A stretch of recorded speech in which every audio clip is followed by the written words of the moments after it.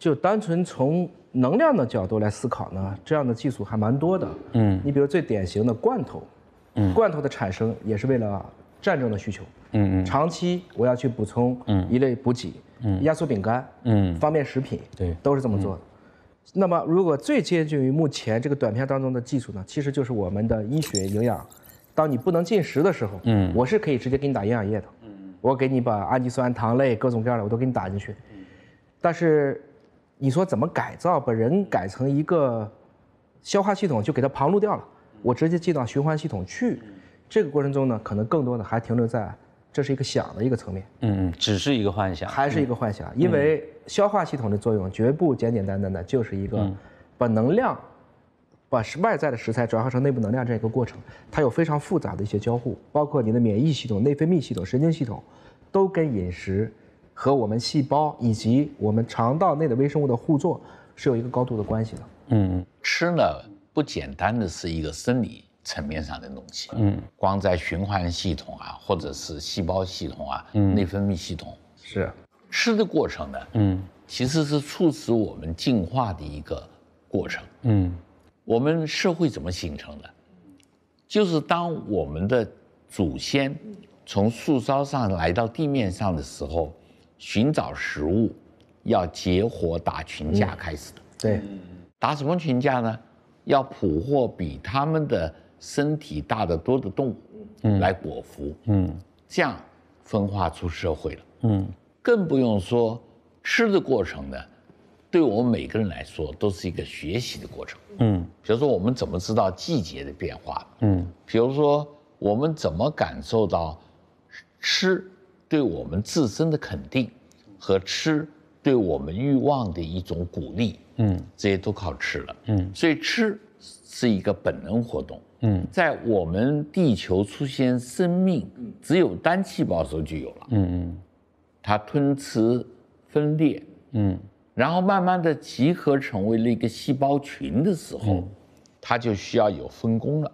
嗯，这个分工也是为了更多的觅食，那么它要感受到它所觅食的目标在哪里。嗯，慢慢的分化出了我们的感觉器官，比方说。你听到的、看到的、感觉到的，嗯，那所有这些信息汇总以后，促使我们有一个加工器，这加工器就是大脑，嗯，因此吃不简单的仅仅是一个为了满足我们的营养需求，嗯，所以吃在未来的很长一段时间内，只要生命这个个体还在进化中，它就离不开。跟它的环境的互动，人跟食物的互动，是人在吃的这个问题上面的第一道学堂。那我们回到刚才这个短片啊，我就说我我记得在这个就是就回到一个原始的问题，就我们为什么要解决这个吃的问题啊？如果我们这个有有两组科学家，他们还在发展未来，一个是解决食物。有更多的物质物产，更高的产量啊，就是在食物上下手。另一方面是改造人，大家一直在讨论，但是真的往前走了多少？因为目前来说，我觉得我们看不到它像这种，呃，人工智能啊、五 G 啊这种技术真的在运用上那么突破啊。这个特别是这个科学家，您谈谈这个目前的情况。嗯，这个人类的人口，或者说。我们的农业史实际上是一种能量的利用史。嗯，我们现在必须肯定的就是说，我们今天吃的不管什么食材，它是来自于低级的出生的这一部分的创造者。嗯，啊，就是我们来自于绿色植物或者是藻类，把太阳光变成了它的这种化学能，然后再通过食物链一层一层的，不管你传到了动物上，还是传到了水产上，人类再去在一个食物链的顶端去获取。所以今天就看一亩地。其实一亩地的光合效应的总转化效率，大概就是百分之二或者更低。嗯嗯，这个里面呢，光合作用尽管只用了百分之二，但已经极限了。总量是是很大。农业部有一个数据的，我们今年的春播期间供应的化肥总量是六千多万吨。嗯，这个数字意味着什么？这数字就意味着我们全年的粮食总产量。是要依靠大量的化肥来支撑。嗯，如果没有氮，其实我们生产不出那么多的粮食来。那生产不出那么多粮食，也很难把植物蛋白转化成为动物蛋白。嗯嗯。那么另外一个呢，还有一个更重要的事情呢，就是光合作用除了提供我们粮食安全以外，还有能源安全。对我们今天能源的一切，可再生能源也好，或者光合能源也好，甚至水利也好，对，都跟太阳光有关。嗯，如果我们可以把这部分的能力提高，嗯，至少在当下的比如耕地问题上，嗯，我们会有非常多想象的空间。嗯，还是从水稻举例，我们第一次绿色革命大概在上个世纪四五十年代，第二次绿色革命，袁老先生、袁隆平先生也做了很大的贡献，杂交水稻。嗯啊，就使得它的亩产再进一步的增加。下一代可能更多的是依赖于基因的育种来保证我既高产还好用。嗯，所以我想呢，在跟去改造人类相比，我们今天在改造农业物种的，至少在它的增产增收、提升它的品质上，还是非下非常大的力气在做的。嗯，尤其是中国今天我们讨论粮食安全，嗯，种子安全，嗯，那同时还有一部分人呢，就像您说的，他会考虑的更远一点。这两年呢，有一个。很大的一个提法，也就是说，我们可能终究要走向太空，嗯嗯，所以就有所谓的太空基因工程，嗯，这个过程中是一定要想办法，在宇宙当中我们依然能保持自给自足的，嗯，可以利用在宇宙当中的光线，比如在太阳系肯定是用太阳光，还能够去维持生产，嗯，大家这个时候呢，这个思路就变了，比如说考虑的更多的是藻类，嗯，不再考虑高等的有维管束的绿色植物了，嗯，我们来的蛋白很多考虑到了昆虫。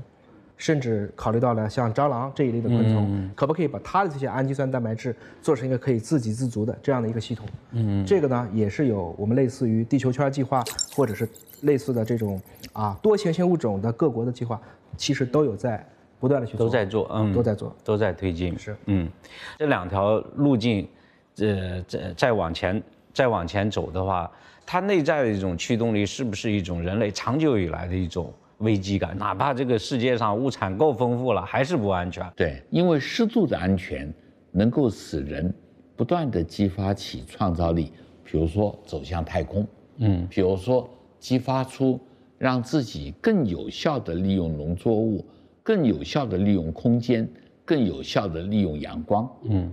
如果我们改造了人类，使人类变得是肆无忌惮的可以拥有安全感的话，嗯，我相信。这个改造就是一场失败，生态灾难，生态灾难，生态灾难。嗯，对。听完各位老师们的讨论，瓦克受益匪浅。人应该保有适度的安全感，并努力维护整个生态的平衡。同时，我也想请问各位老师，在对待吃的这件事情上，有什么是人类不能越界的？我想，啊，这《道德经》当时说过，当然那是个食物匮乏的年代。五色令人色盲，五音令人耳聋，五味令人口爽，驰骋甜猎令人心发狂。是以圣人为父不为目，去彼存此也。他说呢，就是凡事也是不要去特别大的一个越界。在我来看呢，其实就是在于我我个人的态度啊。如果今天陈老师请我吃一顿特别好吃的大餐，我去。如果今天我可能对于吃没有一个特别大的必要，哪怕就是一碗。开水面，我也很高兴去感恩。我感恩，我还可以在一个和平年代，还有人想着我会给我做一碗开水面。在这个过程中呢，我们不可能变成我们未尝的奴隶，但是我们应该用力的去生活。陈老师以前讲过这个话，用力的去对待每一顿饭，去体会这个饮食之外的能给你带来的这种感觉。嗯，还有一点呢，我特别强调的是，大家尽可能的还是不要吃野生动物。野生动物其实某种程度上讲，也是因为这几年人类对自然的索取太剧烈了，造成大量的瘟疫的源头和来源。从这个意义上讲，我们可能要对这个自然界和生态怀有善意，还是要尊重生物多样性，尽可能的不要去求一些太过难求的食材。嗯，呃，几乎所有的宗教都会利用吃这种途径来。帮助人们进行修炼，无论是哪种宗教，所以吃其实表现的是人们的欲望。那么通过吃，我们可以把欲望管理好、控制好，使得欲望为我们和我们大众去进行服务。因此，吃能够帮助我们进步。那么吃的好坏，不论我们遇到的是什么食物，关键是你要了解这个食物究竟代表了什么。嗯，产生食物本身拥有气候、地理环境。啊，各种各样的因素，你吃明白了，你自然知道感恩，你自然知道你的欲望是应该服务于除你以外的更大众的人，所以吃能够促使人的进步。嗯嗯。刚刚尹烨老师提到了太空基因工程，那说到未来饮食。瓦克联想到，在《三体》小说中，人类移居到了太阳系各个不同的行星的太空城当中，培育了一些太空食物。那么，这些在太空培育的食物是否适合地球的原住民食用呢？你知道，小麦是西亚的，土豆是阿基斯山的，这些东西本来中国人也不吃啊。嗯。茄子是印度的，隋朝的时候才进来。嗯。所以我相信，至少对中国人的胃来讲，我觉得我们还是很有智慧。不管你什么地方做来的食品，我们还是有本事把它处理成中国人，按照中国的文化和传统把它加工成我们喜欢的食材的。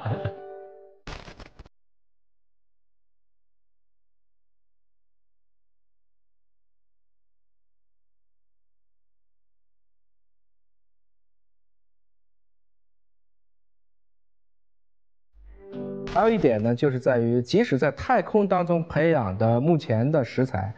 我们今天尚没有看到可以超越我们今天，比如说类似于光合作用、三羧酸循环等等这些基本的化学规律，所以最多它可能只是在一些啊，我们对它的一种培养方式上和口味上的细微的差别，但它做出来的还是当前我们可以遇得见的这些物种。嗯，科技的发展似乎对这个我们的吃啊，呃，并没有什么太大的颠覆性的这种影响。人们对于食物的要求仍然是营养啊、美味啊、可口啊。就像博士的活氧净 VOC sensor 技术，可以智能启动活氧除菌净化，二十四小时检查冰箱的异味儿，食物即使储存十五天呢，也能够保持营养。啊，这个它提供这样的一个保鲜的这个功能更强了。对，保鲜的超强的这样的一个服务。科技的不断创新，一方面提高了食物的质量与产量，一方面呢也更好的服务于我们的日常生活。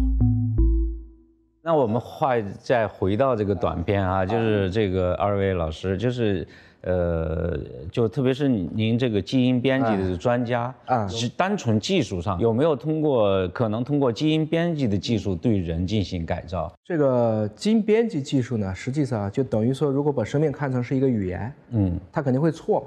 就像我们抄个课文，这个字儿抄错了，怎么改这个字儿？嗯，那过去很麻烦，嗯，现在很聪明。嗯，我们从古细菌当中学到一种技术，嗯，有点像我们 Word 里的查找替换。嗯，我给出一个靶向性的序列，嗯，啊，比如说床前明月光，你把明月光打成了明日光，没问题，我就找到那个字，给它换一下。那整体一点歘就都替换，就全部替换掉了。嗯，这个本事呢，不是人发明的，是人发现的。嗯嗯，是跟很原始的古细菌去学到。嗯，但是这个发现本身，二零二零年的诺贝尔化学奖，嗯就我们还是肯定了这个发现。嗯，那么今天科学界呢，所谓的科学伦理，嗯，我们不能对生殖细胞下手。嗯，啊，我们可可以对体细胞下手。嗯，也就是说，我们现在可以把错的改对。嗯，但是不能把平常的变优，嗯因为我们其实也定义不出来。嗯，什么就叫更好？所以您刚才讲的很多的问题呢，技术上它都是可以做的。嗯，伦理上好多的事情。我们先说有一个公约，至少有善良、有良心的科学家，嗯，遵守公约的科学家，他是不会做的。那具体来讲呢，这个尹老师就是比比如说像我们这个做电影的，我们就就拍拍个科幻片，说我们人类一日三餐通过基因改造可以一日一餐了，这个是能做到的吗？很难的原因是在于，因为。我们本身还是道法自然的，你是有周期的，细胞是有细胞周期的，嗯，也就是说，细胞的节律不会因为你简单的改了几个，地球毕竟围着太阳在公转这一圈，它自身的自转，这都是确定的，嗯，所以一日一餐我目前是做不到的，嗯，当然人类不是自古以来就一日三餐的，嗯嗯，我们在汉朝以前，老百姓两餐，也确实是这个样子。嗯，很多打仗的时候就一餐。嗯嗯，在极端条件还是可以去调节的。嗯嗯，但是比如说，是不是可以通过一定的这种干预，让人的代谢在一定条件下变慢呢？那其实有很多的方法，就像冬眠的方法啊，类似于这样的方法，是可以有办法让你进入到一个比较低的代谢状态的。嗯，生命本身是有代偿能力的，就当你在一个。在一个方向上面走得太远的时候，嗯，它有一种功能可以把你拉回来，嗯，你像佛教当中的入定，嗯，或者是短的一个休眠状态，嗯，它是降低人的新陈代谢率，这样子是要有一定的环境的，嗯，比如说低低含氧量、高海拔的一个洞穴当中，嗯，而且他本人经过长期的训练，嗯，可以用较少的食物。来维系一个最基本的一个身体的代谢状态，嗯，可以入定，嗯，入定可以在一个山洞里面，由他的弟子把他的山洞封起来，在里面入定两年、三年都有，然后出来的时候要用一块毛巾把他眼睛蒙上，嗯，而且要用一个铜钵，用一个呃锤，慢慢的唤醒他的一个。呃，意识，嗯，然后再把它抬出来，这有一整套的程序的，嗯，那说明呢，人是可以不借助于基因改造，用另外的训练或者是意念的方式，进入一种，呃，新陈代谢率非常低的状态，嗯。应该来讲呢，我们现在都知道，不管是轻断食或者是辟谷，嗯，是用一个非常短的对人体进行我们叫折腾的方式，来使人体进入到一个低能耗的一个状态。然后因为熬过了边界点以后，可能我可以去消耗体内筑积的能量了。嗯，特别是免疫系统的重启，这是我们可以观察到的实证。嗯，但是并不是所有的人都可以做做屁股，很危险。嗯啊，因为很多人会进入到另外一个极端，甚至死亡的都有。对对，所以有些事儿可能是省不了的。嗯，基因很神奇，但是还不能够，就像您去说的，我们去产生很多原来人类不具备的功能。嗯，所以归根结底呢，可能我们从原来吃不饱，到现在吃的太多。嗯，我们现在开始往回调。嗯，啊，找到这个平衡点的过程中呢，人类会采用很多的方式去反向调节。嗯，但是以我们做生命科学这么多年来看呢，生命总有自己的对抗的方法。嗯，所谓生命总会找到出口。嗯，当你往一个方向走得太远的时候，它自己会给你自教，且它自教的这条路径是科学家想不到的，有点像搬了石头砸了自己的脚。嗯，而且它一开始就是不可被认知、不可被设计的。对，我觉得，实际上我们在考虑有没有基因技术可以改变人与食物之间的互动关系，让他对食物的依赖更少，让他在社会的活动当中有更多的时间跟空间。去从事其他的事情，嗯，我相信人应该做的不是基因改造，嗯，人应该做的是一种欲望的控制，嗯嗯，跟安全的管理，嗯。那么到今天呢，他就到了一个极端。你看很多女孩子吃代食的食品，啊，就就有点像能量棒，说这个东西它可能看起来是很科学的，完全按营养来分布的，味道可能也不一定怎么样，但是它它可以减肥，可以怎么样？那对于这样的一个饮食的取向，你们二位怎么看？我可能会就是给您就是讲两个例子吧。嗯，就是说，首先第一个问题啊，啊，我们肯定是从营养缺乏，嗯，走向了营养过剩，嗯，这个时间非常短，嗯，还是科技的力量，嗯，包括第一次绿色革命，我们把农业起来了，嗯，我们人口真正能大面积增加，其实是几个核心物种的变化，比如土豆，嗯，让欧洲人起来了，后来才有了。哪怕是今天的美国，是因为土豆闹了饥荒，嗯，所以大量的英格兰土地英格兰土地饥荒，然后造成它的藩属国出去了。第一次绿色革命其实是把小麦和水稻禾本科的作物变矮了，嗯，所以就使得非常多发展中的国家可以至少在禾本科作物自给了。我们在二战之后的这个秩序才得以修复，全世界快速的从大概二三十亿人蹦到了今天的七八十亿人。那么再下一步，我们今天讨论的更多的是均衡营养，嗯，其实再往后是精准营养。嗯当然，从均衡向精准走这个过程中呢，你要测量。如果这个测量的成本太贵，大家还是不愿意做的。嗯。但是在这个情况下，就单纯从均衡样去角度去思考呢，我们今天采用还原论的方式去拆解今天的食物，包括它的能量和成分，嗯，肯定还是会挂一漏万的。嗯。比如第一个，我们就说最简单的大米，嗯，我们大量的吃掉了精米以后呢，它的米糠当中呢，谷维素或者说维生素 B 族，其实没有了。倒过来呢，现在我们还开始吃糙米。嗯，我们看电视剧里面就讲了这么一段话，是吧？人呢是吃了碳水化合物，猪却吃了维生素。它讲的就是我们可能把米的这个米糠，这个米的壳中的这一部分比较精华的这一部分维生素我们丢掉了，而我们单纯要了碳水化合物。恰恰碳水，或者说我们的糖类、淀粉类物质是我们现在不是说很重要的。那这是一个问题。嗯。第二个问题呢，我们过去都认为，比如说配方奶粉可以取代母乳。嗯，就有点像说能量棒能取代一顿所谓的很复杂的正餐。嗯，可是我们后来经过测妈妈的乳汁，发现它里面有非常多的一些寡糖。嗯，这些寡糖不是喂孩子的，嗯，是为了诱导孩子的肠道菌群的。嗯，也就是说母乳在补给孩子进行营养补充的同时。同样的，把孩子内至少在六个月之内的他的益生菌给补起来了。嗯，双歧杆菌、乳酸杆菌是要靠妈妈乳汁当中分泌的这一部分的寡糖来将它实现的。嗯，所以我们可能没有办法简单的通过几个配方，嗯，就可以说这个人就进入到了一个全面营养的状态了。嗯，它其实有点像我用一个简单的化学的方式，它是一个低维的去解决一个高维的生物学问题。生物学过一段时间一定会告诉你你可能错了，然后它再补。嗯嗯，所以我不认为啊，可以长期的人类就是通过几种简单的一些配方、配方，或者说方便食品，嗯，或者是这种所谓的能量激素，嗯，来满足我们全面的一个营养需求。就是所谓营养的这个概念，嗯，呃，也是在有现代科学以后才有的。嗯，就当年吃是为了人能够融于社会、融入社会，在社会当中承担一个社会角色。然后呢，取得一个社会的身份，所以这个很重要。吃，嗯，它是有指向的。今天的吃，更多的是为了一种社会角色的形象，嗯，比如说不能太胖，嗯，比如说要符合某种审美，呃，审美一种时尚的审美，嗯，还有要满足于某种生活场景当中的场合的这种要求。比方说去酒吧，嗯，或者去某种某一个社交场所啊，嗯，所以吃的指向性不明确了，嗯，那我觉得在人类发展的阶段，在社会不断进步的这个阶段，人们可能更多的是一种被自然所驾驭的一种规律。今天可能人有了自己对审美的考虑，嗯，人开始要改造。吃跟人、食物跟人群之间的互动关系了。嗯嗯，人可能是走了这么一条路。